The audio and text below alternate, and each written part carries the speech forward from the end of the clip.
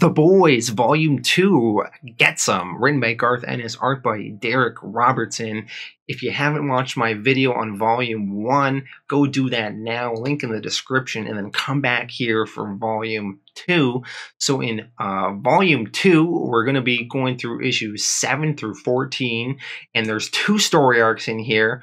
The first one is called Get Some, and the second one is called Glorious Five-Year Plan. So uh, last volume we met, you know, sort of all the characters. We met the various boys. We met the seven. We met various, uh, you know, other people. And in this volume, we're going to be meeting more characters. We're going to be meeting more superhero teams. We're going to learn sort of how the world works, how everyone's sort of interconnected. So it's going to be a good time. Also, in the first volume, you might have noticed some of Garth Ennis's sort of uh, sexual perversion elements in his story, and he really ramps that up in this volume. There is some sort of messed up stuff in here, really twisted, but you know, kind of fun. Uh, also, it's really fun seeing his various twists on DC and Marvel heroes in here and sort of the weird places he goes with them. So uh, let's dive into the story. Issue 7 Get Some Part 1 of 4. So the book opens up and we are introduced to this guy in a robot outfit named Tek-Knight, aka Robert Vernon. So what you need to know about Tek-Knight is he's sort of like Bruce Wayne. You know, he has a mansion, he's a billionaire, but he's merged with sort of Iron Man. So, you know, he has a robot suit and that's sort of what lets him be a superhero. So Tek-Knight, that's who Tek-Knight is. And he is one of the founding members of this group called Payback. So this volume opens up with him talking to a therapist. And he says to the doctor, Doctor, I can't stop fucking things. and we learn that he is suffering from this odd compulsion to fornicate with any orifice that presents itself. He tells a story of being a part of this hero group, and they are flying in the sky. And then all of a sudden, this Tek-Knight, he sees this other hero, Mini Droid's ass, and he just couldn't help himself.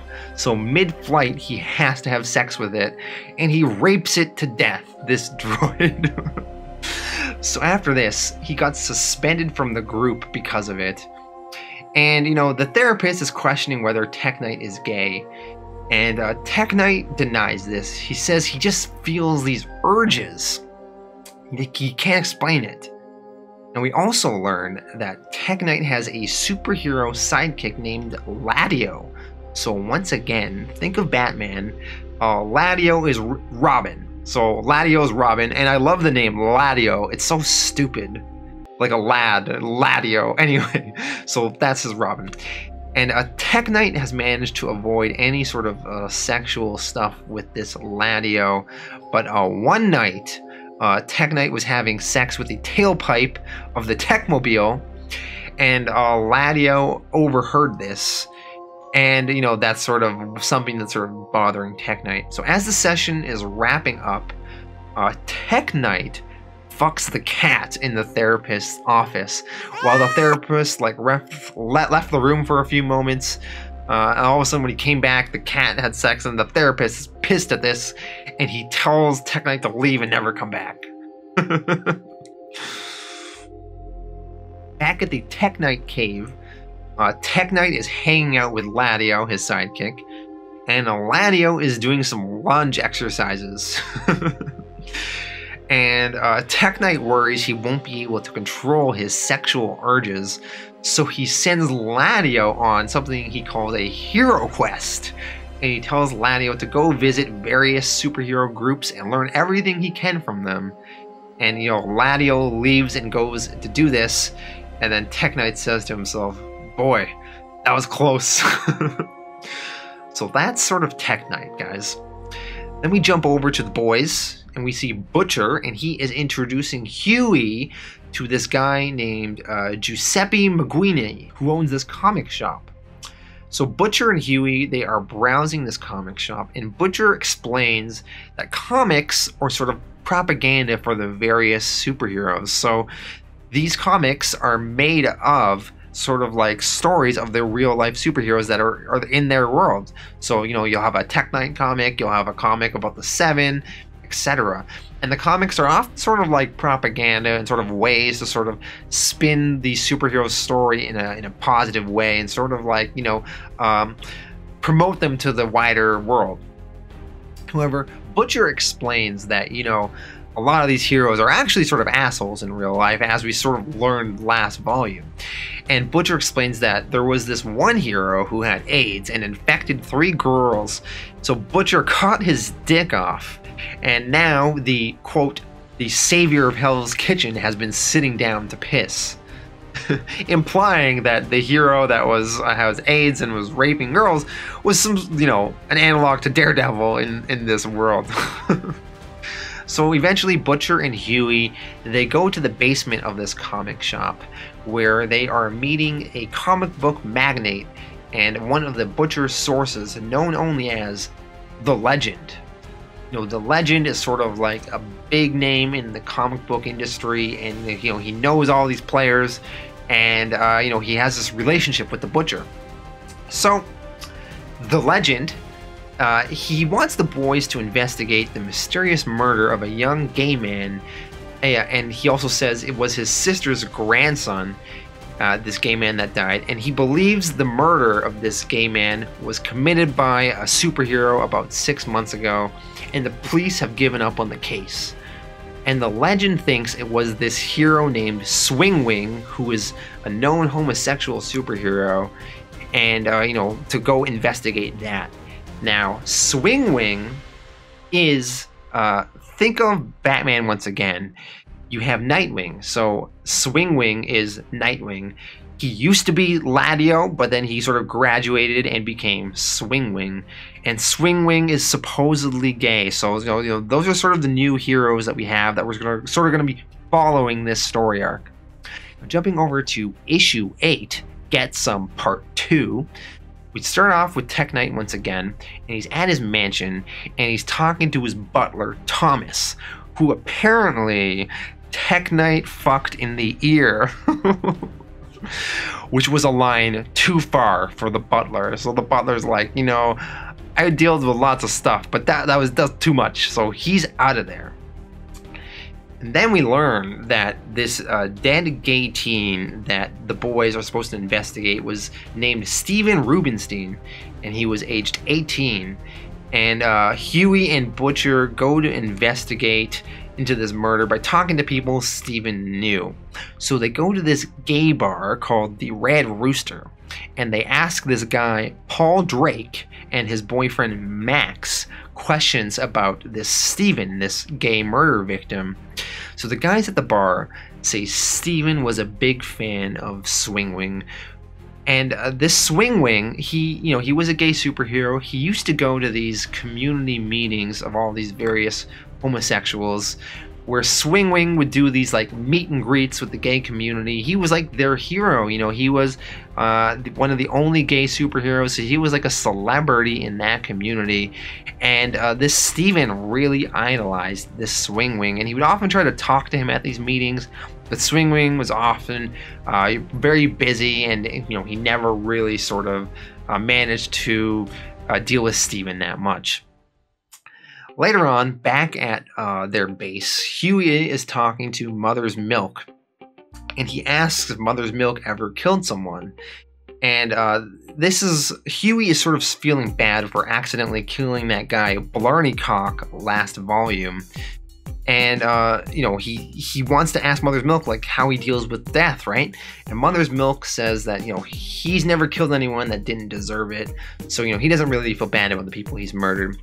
Uh, then Mother's Milk and Hughie start talking about Butcher, and Hughie says that uh, you know he was surprised that Butcher was very friendly and comfortable in that gay bar. You know, he thought that you know Butcher's this really sort of tough guy, and he often throws around this sort of like rough, sort of homophobic language, and he calls various you know gays poofs and uses a little bit of a derogatory language. But, uh, you know, um, Hughie kind of thought that maybe Butcher hated gays, but Mother's Milk explains that, you know, it's just language. Butcher doesn't hate anyone that doesn't deserve it. And Butcher was like really cool in that gay bar. You know, he, he was not bothering him at all. So this is sort of like an interesting exploration of Butcher's character. Even though he has this rough exterior, you know, he really cares about a lot of people that, uh, that are good people.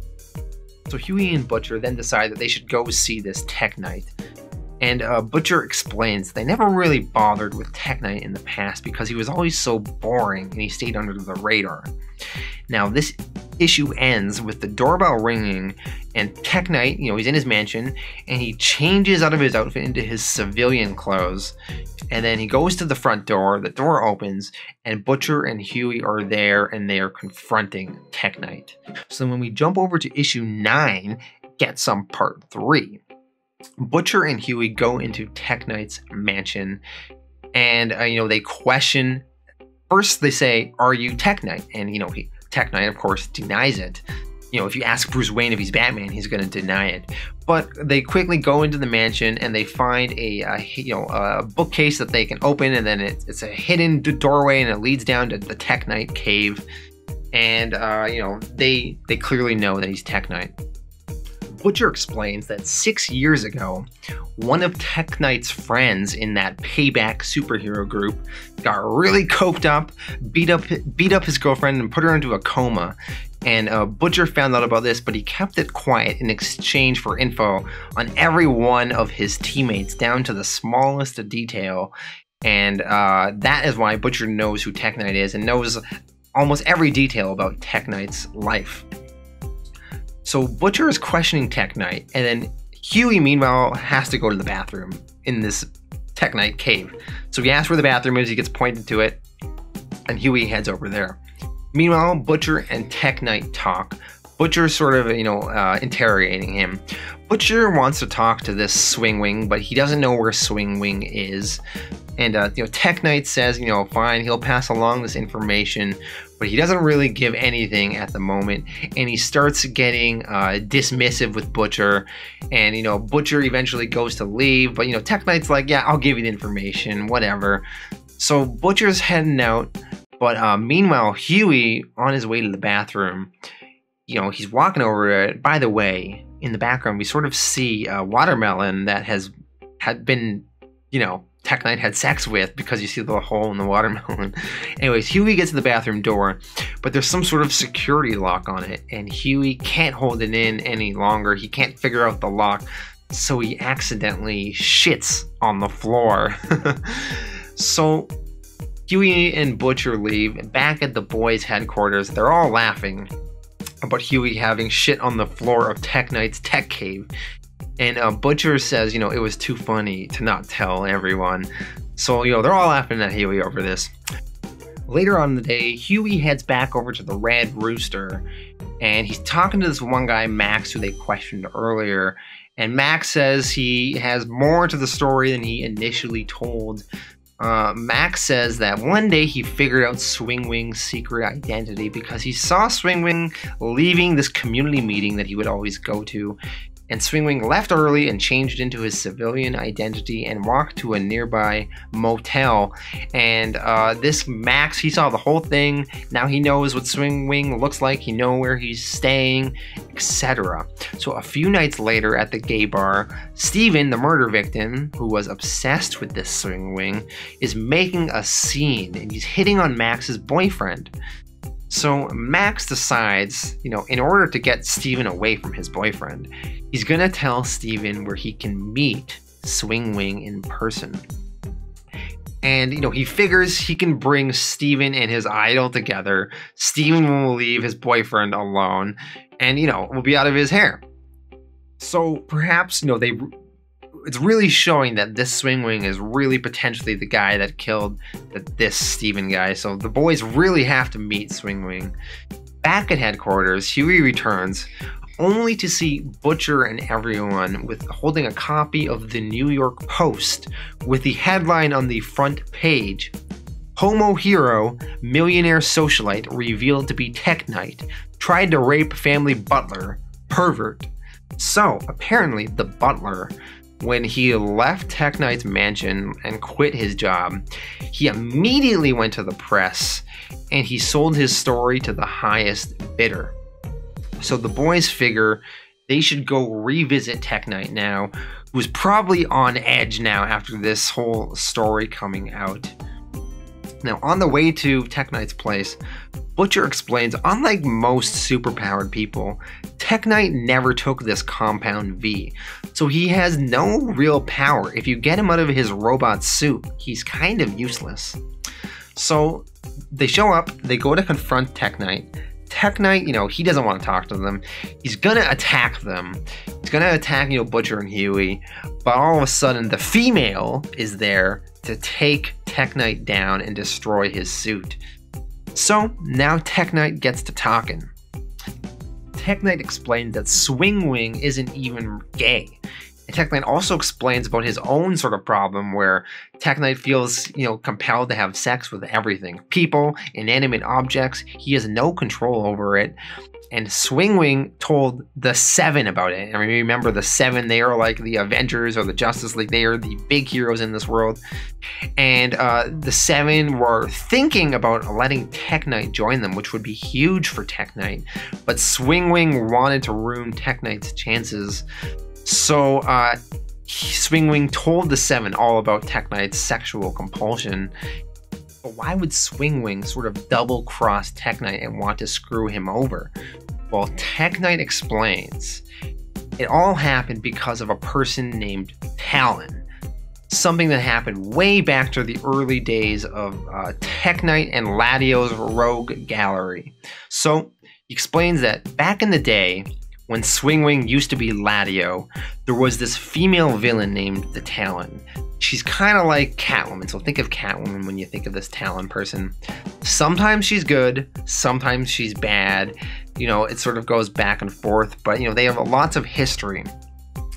So, uh, after they've been sort of, you know, fighting back and forth for years, one night she comes back out of the blue and no one can remember if she's good or bad, but as the night goes on, they wind up back at Tek-Knight's place for like some drinks and stuff and some wine. And she says, Why don't you invite Swing Wing and we'll make it a proper reunion? So they're all reminiscing, you know, they're drinking, they're talking about the old days. Swing Wing's there, they're having a good time, talking about various groups and teams and what these other heroes are up to and and you know the night's progressing and then all of a sudden, uh, she starts kissing Swing Wing. So, you know, Tek-Knight is like, all right, time for me to leave then. You know, they're making out. I don't want to be here for that. But all of a sudden, this Talon, she grabs Tek-Knight's thigh. So all of a sudden, you know, the, the sexual energy between the three of them starts ramping up. And they're gonna have a threesome. so Knight is having a threesome with Talon and Swingwing, and uh, Knight's trying to avoid eye contact with Swingwing.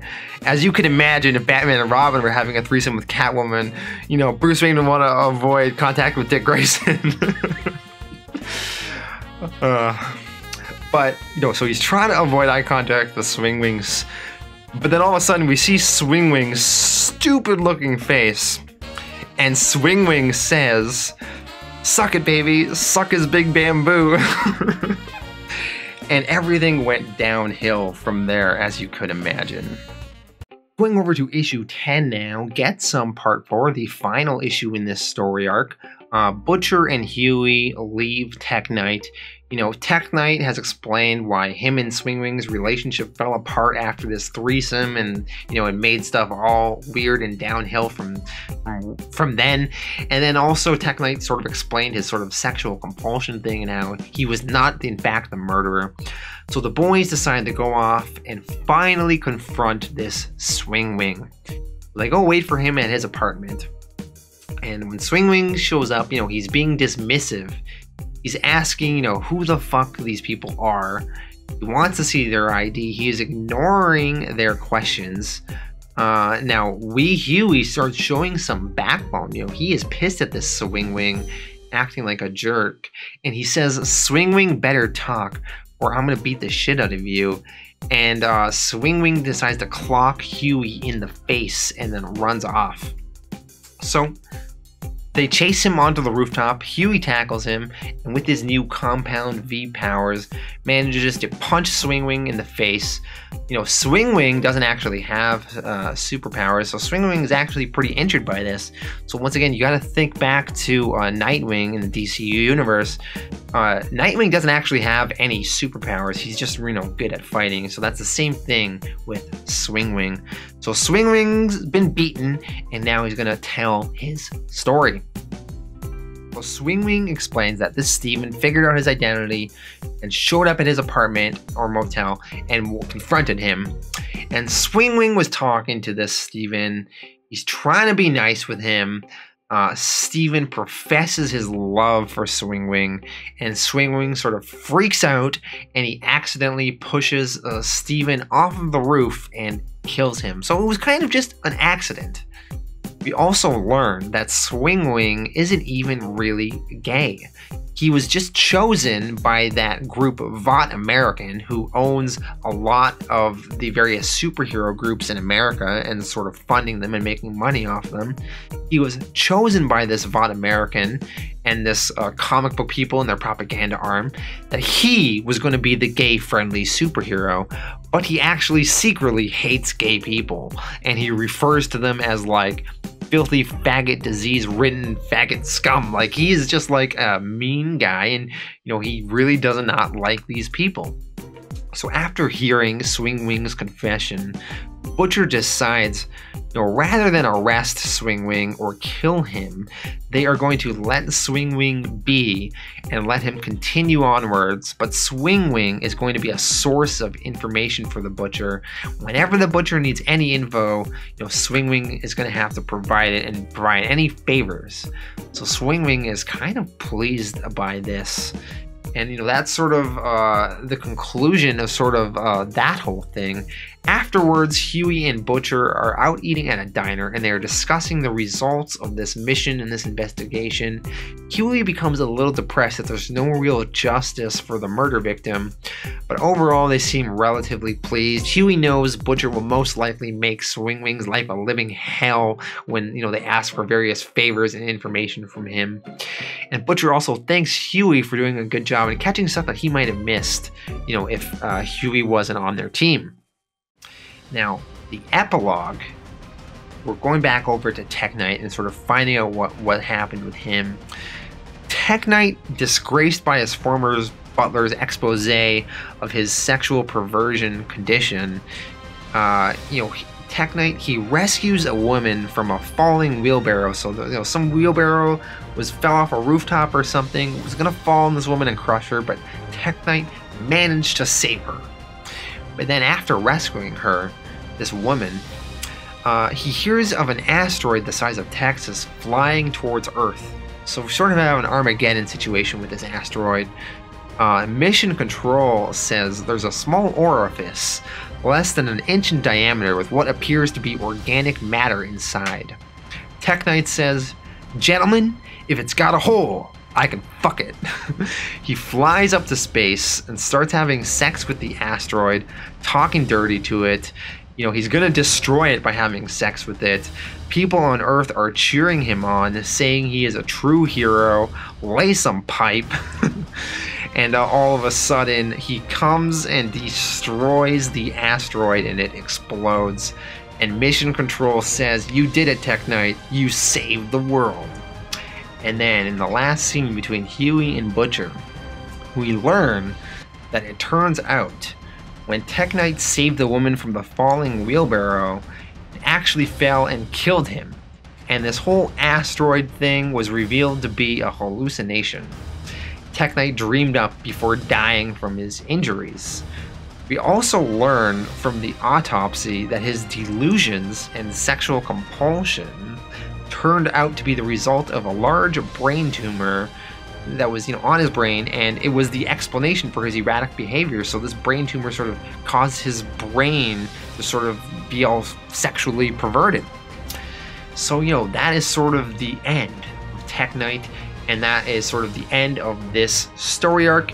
And then Butcher says that now them and the boys, they gotta go head off to Moscow for the next job. So going over to issue 11 now, the new story arc is called Glorious Five Year Plan, part one of four. So the boys arrive in Russia. They've hitched a ride with a CIA freighter plane, and it's transporting tons of prisoners with hoodies on. Probably Garth Ennis doing a little bit of commentary on like Guantanamo Bay and you know the uh, prisons there. So uh, they're in Russia, and it is freaking cold. They are freezing. Uh, when they arrive there, their ride that's going to drive them around the town is that CIA analyst Kessler, aka Monkey, and we met him all the way back in issue one. So apparently he was stationed in the Russian embassy previously, so he is kind of the boys' tour guide here. So the boys get a ride into town. Butcher arrives at this bar and says hello to his Russian friend, Vasily Vereshkin, aka Vass aka the ex superhero known as Love Sausage. so, this Vass is an ex cop and an ex superhero, and he is a part of the uh, Russian hero team called Glorious Five Year Plan. And Butcher explains that the reason they are here is because over the last two weeks, various superpowered people's heads have exploded in Russia, so they are here to sort of investigate this. Uh, Butcher guesses that maybe it has to do with this early 90s boosted version of Compound V that was a little unstable, and if you injected it into a superpowered person, it'd become like a time bomb and it would eventually go off. So, this is what Butcher is theorizing is going on. Uh, Vass brings them some strong vodka for them all to drink. Now, Butcher and the rest of the boys, they just pretend to drink it when they're all doing their celebratory shots. They sort of throw it behind their shoulder, but uh, Hughie didn't see them do this, so Hughie actually drank this drink, and it's so strong, he is like actually going into a little bit of a choking fit because, you know, this Vass, he just loves drinking this strong Russian drink. so the boys they head to the mortuary to see the dead body of one of these uh, guys whose head exploded, and the reason they're there in Russia. And the body belongs to a member of Russian organized crime. So, whatever this mystery is going on, it's involving Russian organized crime. Uh, back at the bar, the boys receive a pizza delivery, and it has someone's face on it with an eye patch on this pie. So, it's perhaps a warning to the boys. Also, in this opening issue, we are introduced to this uh, villain character named Nina Namenko, aka Little Nina, and she is a Russian mob boss who is uh, very, very tiny. And in this issue, she's flying this private plane, so she's obviously very rich and sort of powerful. And uh, once again, with the sexual perversion stuff Garth Ennis loves, she is using this vibrator in the plane while flying, and the pilots are sort of, uh, you know, kind of uh, surprised by this um, behavior going on. Finally, when she arrives in Russia, she is having a meeting with this man from Washington and we're going to find out who this man is in subsequent issues. So jumping over to issue 12 now, Glorious Five-Year Plan Part 2. So Nina is having a meeting with that man from Washington. And we learn that this man from Washington represents the group Vought American. So once again, to further explain what this Vought American is, as it's an organization we're going to see a lot in the boys uh, in the future issues. They are a large defense contractor which owns the Seven as well as several smaller superhero teams and their related franchises. So they are the money people behind the Seven, behind various heroes, and they are there to sort of make money off of these heroes and sort of sell their services. So the specific guy the little Nina is meeting, this guy is named James Stillwell, is one of the guys who sits in the meetings with the Seven. Going back to a, panel in issue four, we see him sort of in the background watching the meetings of the Seven going on. So we learn throughout this issue that this Vought American group, they are working with Little Nina to engineer a coup in Russia and with an army of like 150 East European, Russian, superpowered people, all sort of organized by Little Nina, who will sort of ravage the country with these superpowered people before she is eventually going to remotely detonate them all because of this unstable compound V thing I mentioned earlier. You know, it would be able to cause people's heads to explode. So the idea is they're sort of going to ravage Russia, and then little Nina is going to sort of uh, come to the rescue and stop all these superpowered people, and then they will perhaps put her in charge of the country. So there's also these two Vought American guys, these surveillance people, watching this whole meeting going down. These people are going to be important later. So remember, we also have these Vought American surveillance guys in the mix. Meanwhile, the boys have received that pizza with the face on it, and they discover that there are two hitmen waiting for them in a parked car outside of Vass's bar. So the Frenchman manages to sneak up on these hitmen and kill them really brutally, and the boys rough up this remaining hitman and manage to beat some information out of him. This hitman, he squeals about little Nina and tells the boys about her meeting at the hotel with the man from Washington. And, uh, you know, the hitman seems utterly terrified of little Nina. We also learn that Vass's vodka that they were drinking earlier that Hughie drank and made him sort of feel really sick is actually brake fluid. He likes a strong drink and he loves drinking brake fluid. He developed a taste for it when he was in Afghanistan. And uh, even though Hughie is not really that pleased with this information, he's willing to share another glass of this brake fluid with uh, Vass and they sort of cheers and uh, chug it down. So then the boys head over to the hotel and try to catch little Nina in her um, meeting. And as they show up, they see little Nina sort of uh, taking off. So Mother's Milk, he heads into the hotel and he's going to talk to the bartender, see if he can get more information on the man from Washington. Butcher and Hughie, they follow little Nina in a taxi and uh, sort of track her back to her base. And uh, then Hughie and Butcher, they're able to see all of those 150 superpowered people that little Nina has under her control and has been sort of cultivating for months. And they're all taking little, um, and they're all taking orders from little Nina, plotting. Uh, Butcher suspects that they are planning some sort of coup, so Butcher is starting to sort of put the pieces together here. Jumping over to issue 13, Glorious Five Year Plan Part 3, the boys were spying on that hotel and they eventually managed to snap a picture of the man from Washington. Butcher eventually recognizes this guy as the one who sits in those meetings with the Seven because, you know, Butcher has sort of been surveilling them, so he recognizes this guy. He knows the man from Washington here is important and pretty high up. So Butcher is sort of starting to put more and more of these pieces together here, right? The boys head to the airport for some more surveillance. Eventually, Butcher finds those two Vought Americans surveillance surveillance members I mentioned earlier, and they are sort of sitting in their private plane.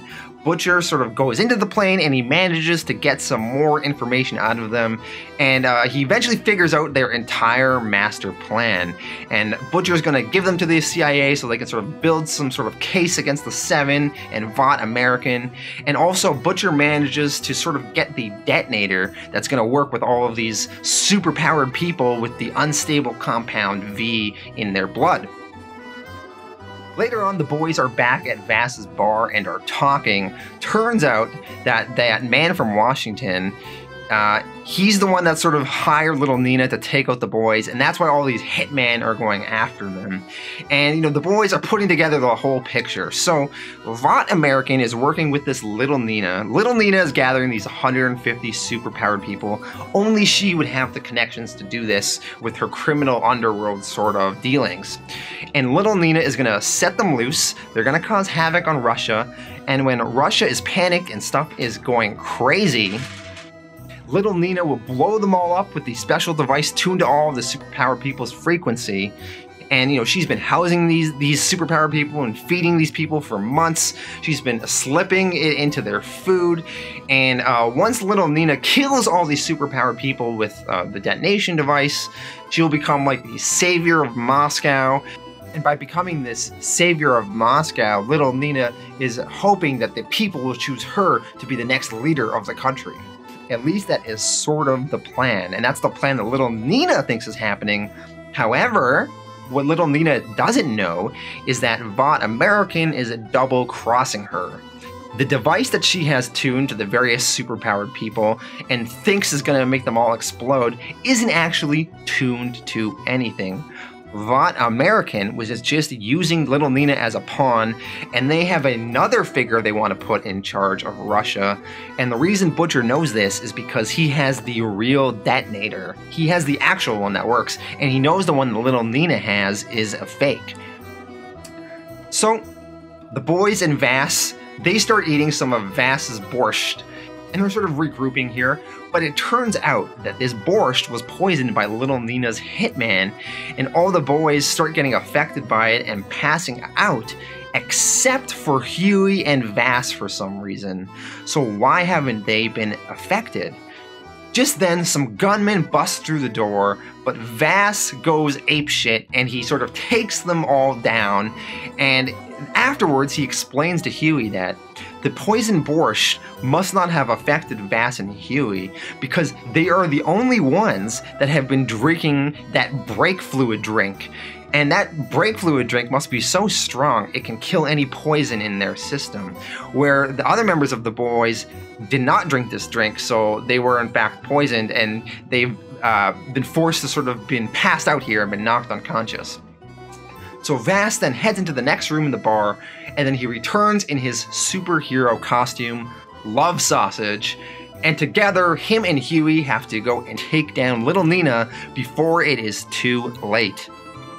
Jumping over to issue 14, Glorious Five Year Plan Part 4, the last issue in this storyline. Love Sausage and Hughie break into Little Nina's hideout and take out some lieutenants of hers. Love Sausage is an absolute beast. Uh, when one of the uh, henchmen of Little Nina sort of runs away through the strip club downstairs, the boys sort of eventually catch up to him and beat some information out of him. Uh, Little Nina, though, at this point has been warned. She knows the boys are onto her and that her hitmen have failed. She decides she's going to run and escape the country. She's on her plane, it's taken off.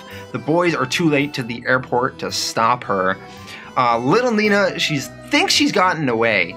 She's on her private plane going back to wherever she's from. But all of a sudden, she pulls out her vibrator that she had in the beginning of this story arc. And what she doesn't know is that Butcher thought ahead and he put a bomb in her vibrator.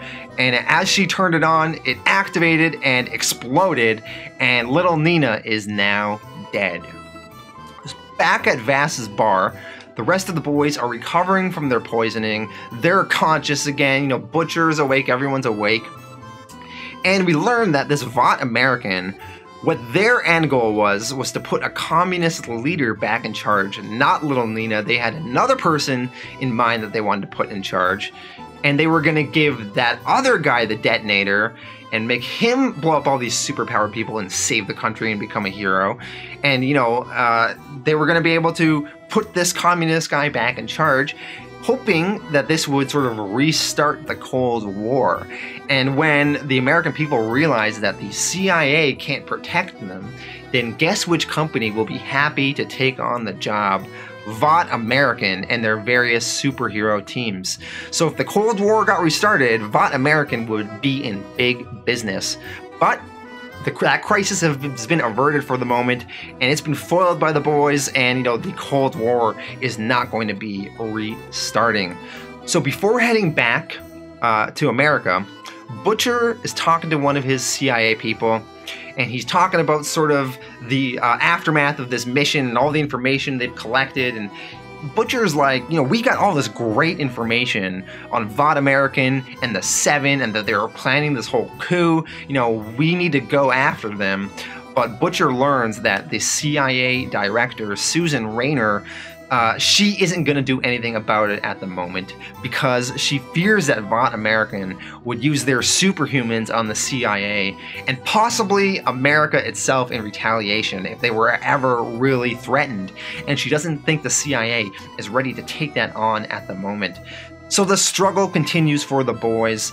Butcher is kind of pissed, but you know, he has to continue onwards. Before leaving Russia, Butcher alone heads down to where little Nina was keeping all those super powered beings, and he detonates the devices in all of them and kills all 150 of them, sort of taking them off the board. The boys then head out to their plane. Love Sausage gives Hughie a few bottles of his vodka, aka brake fluid, that's ended up actually sort of saving their lives. And with that, the boys are headed back home to America. Now, this issue ends where we jump over to that man from Vought American, the man from Washington, who was uh, introduced more so in this book. And he's also on a plane heading back to America, and he's talking to the Homelander on the phone. Homelander, one of the members of the Seven.